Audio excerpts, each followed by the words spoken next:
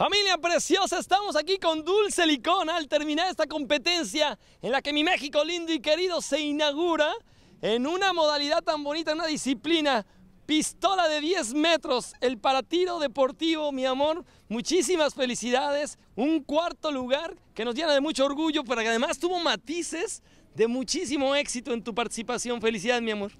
Muchas gracias, la verdad estoy muy contenta por este cuarto lugar. Ah, hay que trabajar más y aprender de lo que pasó aquí, pero sin embargo el tiro deportivo está creciendo.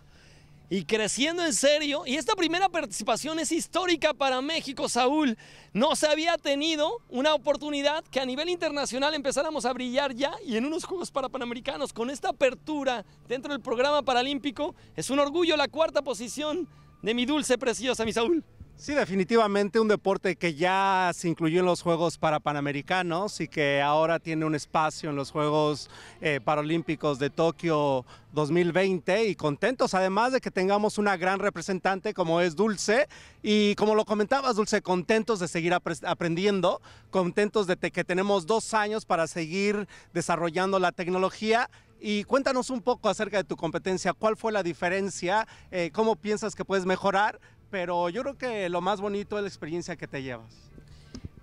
Así es, la, experiencia que de aquí tuve, la verdad, desde la gente que nos recibió aquí, las competidoras muy fuertes, el jueceo muy profesional y el trabajo de mi entrenador, increíble. Eh, aprender sobre las finales. Yo creo que sería muy bueno realizar mayor fogueo, salir a eventos internacionales. Todavía hay que pelear, hay, lugar, hay competencias en las cuales podemos pelear Tokio 2020 y en la que estoy segura en alguna clasificaré.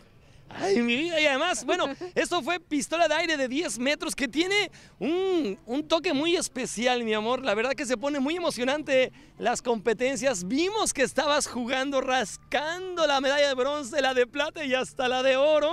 Eh, son momentos verdaderamente de gran temple. Yo creo que es uno de los deportes donde debe de haber una precisión, una concentración verdaderamente clave.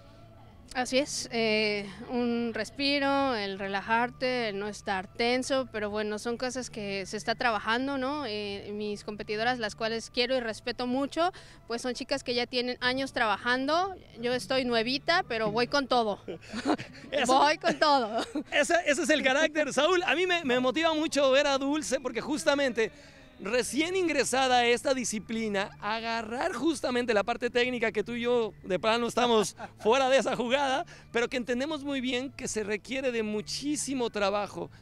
El fogueo irá construyendo una gran campeona que hoy le da a México la gran satisfacción de tener una digna representante. Felicidades, mi amor, y mi Saúl, ¿es cierto? Pues, definitivamente Dulce es una inspiración para todos nosotros, especialmente en este deporte que no es tan popular en México. Y a mí me, me nace la pregunta, Dulce, ¿cómo encuentras en el tiro eh, un, deporte? ¿Cómo encuentras una inspiración? ¿Y cuáles son las oportunidades que has encontrado en México? Mira, hasta ahorita el, apoyo ha sido bastante por mi esposo, por mi mamá, que fue quien me regaló mi arma. Muchos saludos a ella, yo la quiero mucho. Gracias por esta gran oportunidad. Y pues en familia también las autoridades de mi trabajo, ¿no? Esos son quienes este, me, apoyan. Mi esposo fue quien me presentó las armas junto con el coach Onésimo en una exhibición en Querétaro el, año pasado. Entonces, tener un poquito más de un año me, me, hace querer seguir con más, porque si con un año y cachito pude llegar aquí, con más tiempo llego más lejos.